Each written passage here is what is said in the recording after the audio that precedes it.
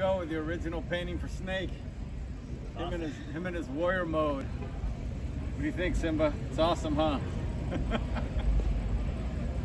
yeah, super impressed. He's uh, you know, he started the project a while ago, like a year or two ago, and then uh, kind of took the back burner and just kind of kind of finished it. And now we're back here in uh, San Diego Oceanside area, and I'm finally picking it up for the first time. So super impressed. This is the second piece of artwork you've done. We did one for the uh, the, uh, military celebration of the military. Yeah, retiring from the Navy, and uh, he's amazing. He's done artwork all over. Huge in the Native community. Huge in the uh, just the nonprofits with dogs. So we got Simba here. You know, he's My boy. The, the big dog artist around town here. Plus all the military people that you've done artwork. So super honored, super impressed. Phenomenal job.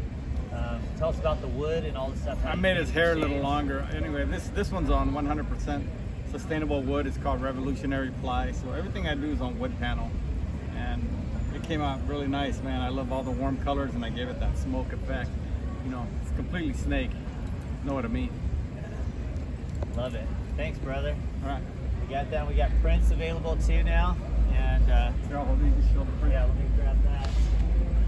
Just, you, know, you can leave it in the. It looks better outside.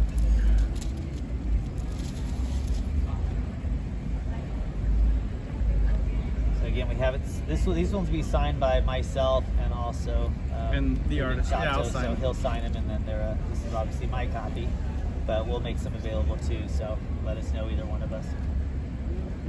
So again, freaking awesome. Proud Snake blocker. Love it. And uh, yeah, we're we're representing the uh, Lipan Apache tribe in Texas. So shout out to our family out there. Sign on the back. I always write something on the back. All my, whether it's an original or a rare wood panel print, I always write something on the back. He always puts his uh, tribal number as well. So love it. You make our people proud. Thanks, my I, brother. I love this painting, man. Plus, you're you're not only a native warrior yourself, but you're also a Navy uh, veteran as well. And Yeah, man, the service, old, old so- boat guy. Call us DBGs, dirty boat guys. Yeah, I love the colors. It came out really great. Just to see with these warm colors. Kind of have that snake effect around it in a, wa- in a way with the smoke. It's kind of came out really unique. Really like it. I love it. Look both this way and smile. Hold it.